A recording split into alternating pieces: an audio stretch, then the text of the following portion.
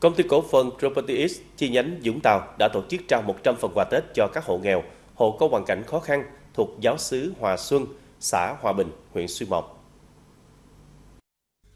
Mỗi phần quà được trao tặng cho người dân nghèo xã Hòa Bình, huyện Xuyên Mộc trị giá 500.000 đồng, gồm bánh kẹo, mứt, bột ngọt, đường, sữa, dầu ăn, nước mắm.